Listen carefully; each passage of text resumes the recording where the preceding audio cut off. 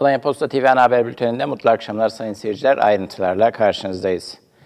Alanya Belediye Meclisi'nin Mart ayı olağan toplantısı gerçekleştirildi. 2023 yılı gelir gider bütçe kalemlerine toplam 1 milyar 250 milyonluk ek bütçe oy birliğiyle kabul edildi. Alanya Belediyesi Mart ayı olan meclis toplantısı Alanya Belediye Başkanı Adem Murat Yücel Başkanlığında gerçekleştirildi. Gündem maddeleri öncesi grup sözcüleri ve Başkan Yücel gündeme dair konuştu. Başkan Yücel 6 Şubat 2023 Pazartesi günü meydana gelen ve 11 ile etkileyen depremin ardından Alanya olarak yapılan ve yapılmakta olan dayanışma faaliyetlerine yönelik açıklamalarda bulundu. Depremin ardından binlerce artçı sarsıntı meydana geldiğini vurgulayan Yücel, Türkiye bir deprem ülkesi ve biz her an deprem olacakmış gibi hazırlıklı olmalıyız dedi. Mecliste Plan ve Bütçe Komisyonu raporlarında yer alan Mali Hizmetler Müdürlüğü'nün Mahalle İdareler Bütçe ve Muhasebe Yönetmeliği'nin 37. maddesi uyarınca belediyenin 2023 gelir gider bütçe kalemlerine toplam 1 milyar 250 milyon TL ek ödenek verilmesi onaylandı. Komisyondan oy çokluğu gelen madde mecliste de MHP ve AK Parti'nin oylarıyla oy çokluğuyla kabul edildi. İlgili maddeye CHP ve İyi Parti şartlı çekimser kaldı. Alanya Belediyesi'nin 2023 yılı bütçesi 1 milyar 775 milyon TL olarak açıklanmıştı. Toplam bütçe ise 3 milyar 25 milyon TL oldu. Hem de deprem bölgesinden Alanya'mıza gelen vatandaşlarımız Deprem sebebiyle deprem bölgesine de Alanya Belediyesi, belediyenin şahsi bütçesine de ciddi kaynak aktarmış oldu. Ek bütçeye gerçekten yatırımların da devam etmesi anlamında ihtiyaç vardı ki bu talep geldi ve mecliste oy birliğiyle kabul edildi. O oy çokluğuyla kabul edildi, özür dilerim. Bütçenin önemli bir kısmı da özellikle kent meydanı başta olmak üzere önemli yatırımlarda kullanılması bekleniyor. Alanya Ticaret ve Sanayi Odası Başkanı Eray Erdem, Avrupa'nın en büyük turizm fuarlarının başında gelen ITB Berlin Fuarı'nın ilk gününde turizmcileri yalnız bırakmadı. 2023 turizm sezonunun 2019'u geride bırakabileceği yönünde olumlu izlenimler aldığını da ifade etti. Alanya Ticaret ve Sanayi Odası Başkanı Eray Erdem, Avrupa'nın en büyük turizm fuarlarının başında gösterilen Berlin Fuarı'nın ilk gününde 2023 turizm sezonunun 2019'u geride bırakabileceği yönünde olumlu izlenimler elde ettiklerine dikkat çekti. Erdem açıklamasında Sayın Adams yeni sezonun Türkiye'nin Alman pazarında İspanya ile yarışacağı bir sezon olacağına ilişkin görüşlerini bizimle paylaştı. Alanya'nın da Alman pazarının ülkemize olan bu ilgisinden payını alması için neler yapılabileceği konusunda da Sayın Adams'ın görüşlerini aldık dedi.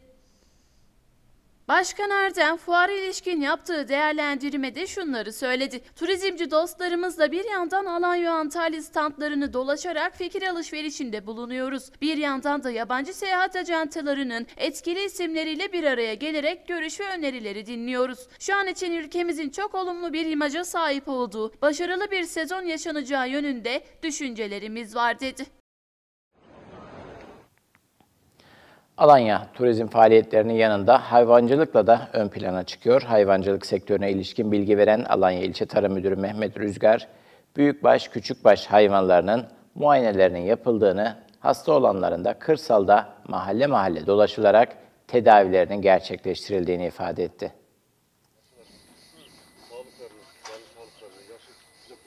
Alanya'da turizm ve tarımın yanı sıra özellikle kırsal kesimde hayvancılık da ön plana çıkıyor. Alanya İlçe Tarım ve Orman Müdürü Mehmet Rüzgar, ilçede 14.200 büyükbaş, 75.000 küçükbaş, koyun ve keçinin 29.710 tane, 26.550 tane de kanatlı hayvanımız mevcut dedi. Ee, Alanya'mızda ciddi şekilde hayvansal üretim söz konusu. Ee, şu an itibariyle 14.200 büyükbaş, e, 75.000 küçükbaş koyun keçi, 29.712 aralık kovanımız ve 26.550 de kanatlımız alayımızda mevcut. Ee, bunun yanında tabii e, pet hayvan dediğimiz e, kedi köpeklerimiz de e, var ve biz onları biliyorsunuz yıl sonuna kadar bütün e, hayvanlarımıza çip taktık kedi köpeklerimize ve kutulaşlarını yaptık kayıt altına aldık. Denetimlerin kesintisiz devam ettiğini vurgulayan Rüzgar, biz hayvan sağlığı çalışmalarımıza hem hayvan kliniklerimizde, veteriner hekim kliniklerimizde, hayvan hastanelerimizde, ev ve süs satış hayvan ev ve süs hayvanı satış yerlerimizde bunları sürekli denetlemekteyiz dedi.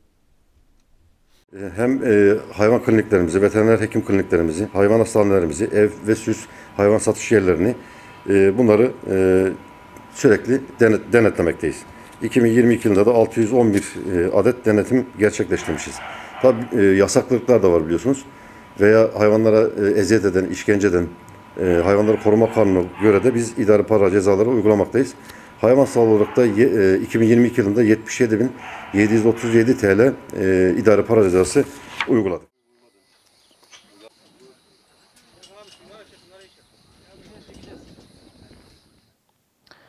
Covid-19 salgını büyük oranda artık neredeyse konuşulmuyor. Özellikle depremle birlikte artık ülkemizde neresiydi, neredeyse hiç konuşulmamaya başlandı. Fakat salgın geçmiş değil, etkisini kaybetmiş değil. Alanya İlçe Sağlık Müdürü Nadir Aldemir, hastalık çok azaldı ama yok denemez diyerek uyarısını tekrarladı. İki yıl süren yoğun ve karmaşık geçen bir pandemi sürecinin ardından son zamanlarda Covid-19 virüsü gündemden düştü. Ancak yetkililer virüsün halen etkin olduğunu aktarırken aşılamaların da devam ettiğini vurguluyor. Alanya'daki pandemi durumundan Alanya Posta Medya ekibine demeçlerde bulunan Alanya İlçe Sağlık Müdürü Nadir Aldemir ise hastalığın çok azaldığını ancak bitmediğini vurguladı. Alanya İlçe Sağlık Müdürü Nadir Aldemir, Alanya'da Covid aşılaması devam ediyor. Hastalık çok azaldı ama yok denemez. Aşı yaptırmak isteyen vatandaşlarımız aşı yaptırabilirler. Özellikle risk grupları aşı yaptırmak istiyorlar. Hastanede Covid yüzünden yatan hasta sayısı çok fazla değil. Sözlerine yer verdi.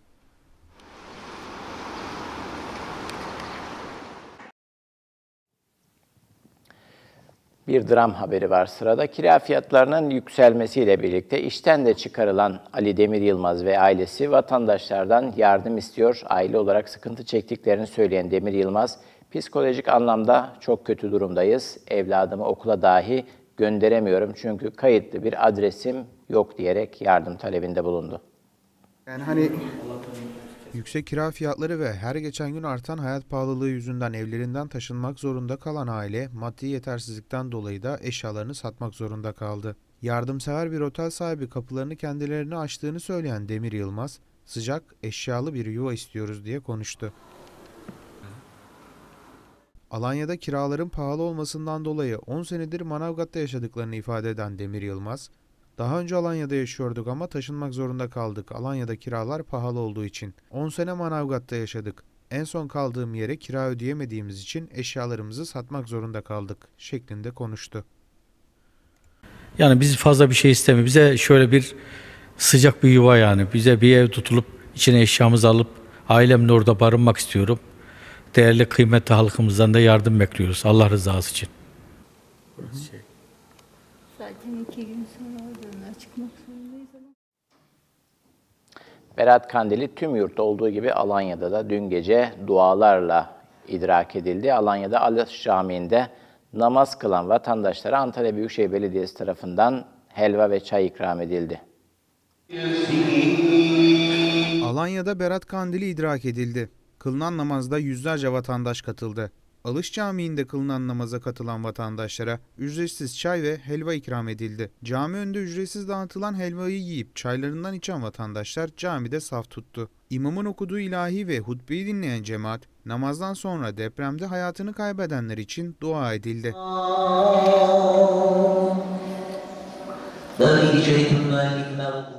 Dün gece idrak ettiğimiz ve Ramazan ayının müjdecisi olan Berat Kandili nedeniyle Antalya Büyükşehir Belediyesi Antalya Merkez ve diğer ilçelerde olduğu gibi Alanya'da da lokma ikramında bulundu. Lokma ikramı Alanya Kuyular Önü Camii, Avsallar Merkez Camii ve Kestel Fatih Camii'nde gerçekleşti. Kandil nedeniyle vatandaşlara toplam 1500 kişilik lokma ikramı yapıldı.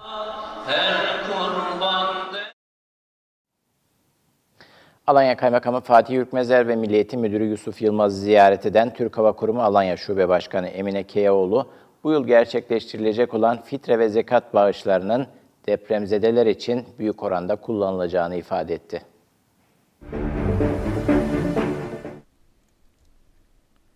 Türk Hava Kurumu Alanya Şube Başkanı Emine Kağoğlu, Alanya Kaymakamı Fatih Ürkmezer ile İlçe Emniyet Müdürü Yusuf Yılmaz'ı ziyaret etti. Keoğlu ziyarette Türk Hava Kurumu Alanya Yönetim Kurulu üyesi Adem Sandal ve Alanya Muhtarlar Derneği Başkanı Hasan Yüksel de eşlik etti.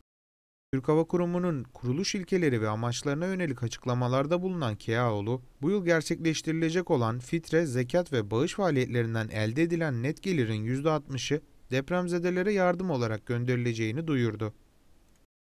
Öngörüsü yüksek, teknolojiye meraklı, farklılık üretebilen ve farklı düşünen.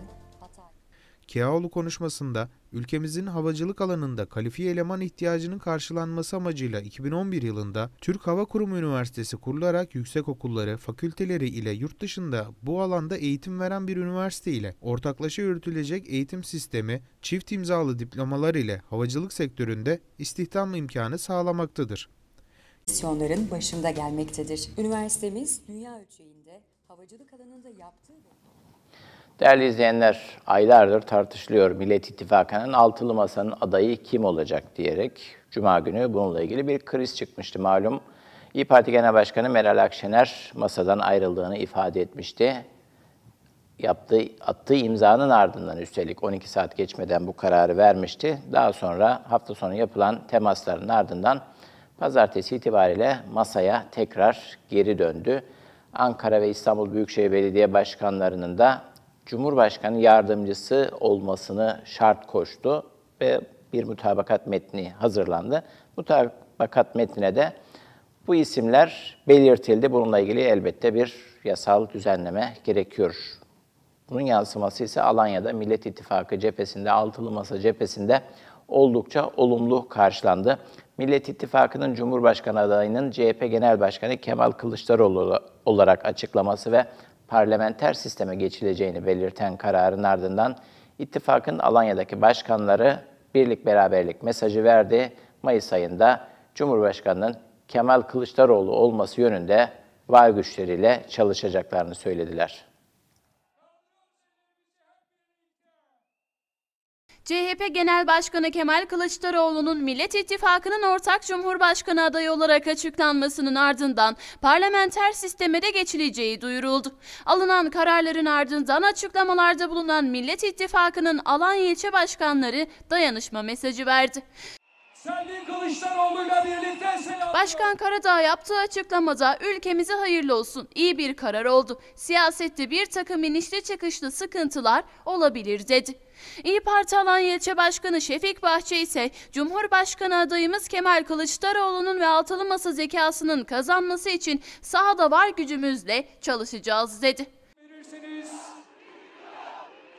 Saadet Partisi Alanya İlçe Başkanı Hüseyin Sarıca ise Millet İttifakı dün itibariyle büyük bir uzlaşma neticesinde ittifakın ortak Cumhurbaşkanı adayı Sayın Kemal Kılıçdaroğlu olmuştur. Milletimize hayırlı olsun dedi. Demokrat Parti Alanya İlçe Başkanı Hilmi Lökse, ülkemizin umut bağladığı altılı masa tüm Türkiye'yi millet sofrasında buluşturmuştur. Bütün renklerin temsil edildiği bu masanın ortak dili sevgi, demokrasi, barış ve huzur olarak olmuştur dedi. Elazığ. Gelecek Partisi Alanya İlçe Başkanı Mevlüt Çakansa, toplumun her kesimini kapsayan siyasi partileri birlikteliğiyle oluşan Millet İttifakı son toplantısında Sayın Kemal Kılıçdaroğlu'nu 13. Cumhurbaşkanı adayı olarak belirlemiştir. Kaybeden olmayan bir zafer olacaktır dedi. Saygı duruşuna davet ediyorum. Deva Partisi Alanya İlçe Başkanı Ahmet Çakansa, Millet İttifakı'nı oluşturan siyasi partiler olarak 2023 yılında gerçekleştirilecek olan 28. dönem Türkiye Büyük Millet Meclisi ve 13. Cumhurbaşkanlığı seçimlerinde ortak Cumhurbaşkanı adayımız Sayın Kemal Kılıçdaroğlu'dur. Ülkemiz, milletimiz ve Alanya'mız için hayırlı olsun dedi.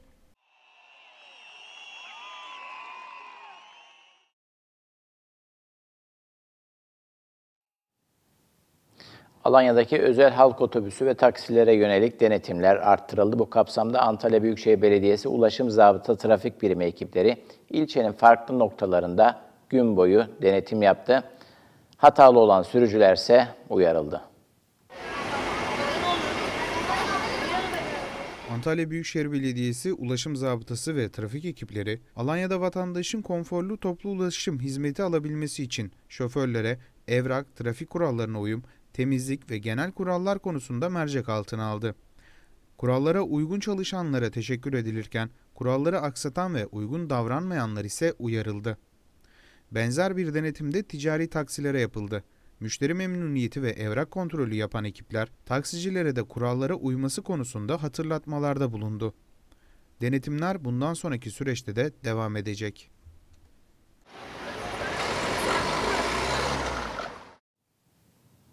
Antalya Büyükşehir Belediyesi Kahramanmaraş merkezli depremlerden sonra Antalya'da misafir edilen depremzedelere moral vermek amacıyla bir etkinlik düzenledi.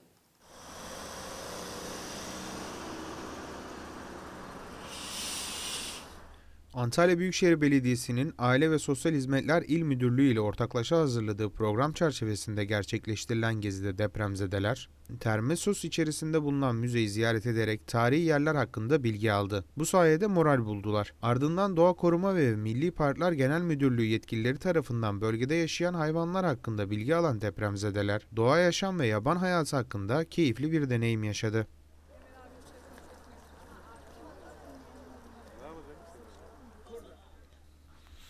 Gezi çerçevesinde depremzedeler Büyükşehir Belediyesi Alanya Doğal Yaşam Parkı'nda ziyaret etti. Depremzedeler Manavgat'ta kanadı kırık bir şekilde bulunan Kızıl Şahin'in bir aylık rehabilitasyon tedavisinin ardından yetkililerce doğaya salınmasına da tanık etti. Dört güvercini de depremzedeler tarafından doğaya salındı. Farklı bir gün geçiren depremzedeler zorlu günlerde bir nebze olsun moral buldu. Antalya Büyükşehir Belediyesi yetkilileri depremzedelere yönelik bu tür etkinliklerine devam edeceğini belirtti.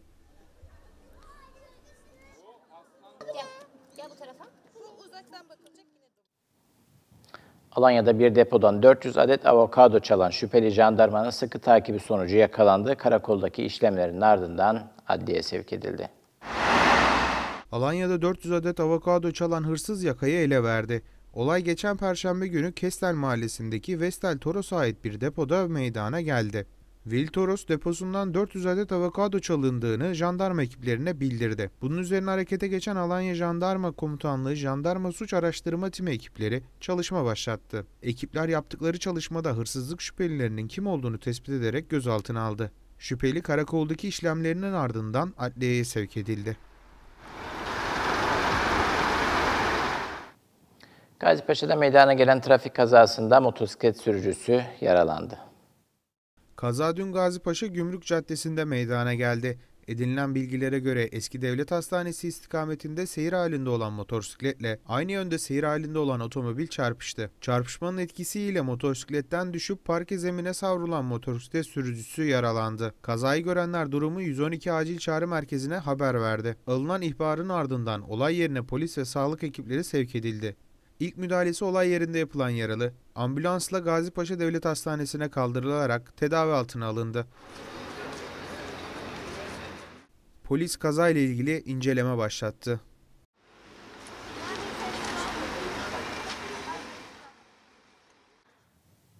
Alanya'da da yine motosiklet ve otomobil çarpıştı. Bu kazada da maalesef bir kişi ağır yaralandı. Kaza dün gece Konaklı Mahallesi'nde meydana geldi. Alanya'ya doğru seyir halinde olan otomobille motosiklet çarpıştı. Çarpışmanın şiddetiyle yola savrulan motorcu ağır yaralandı. İhbar üzerine olay yerine gelen sağlık ekipleri yaralıyı ambulansla hastaneye götürdü. Burada tedavi altına alınan Hakan Y'nin hayati tehlikesi olduğu öğrenildi.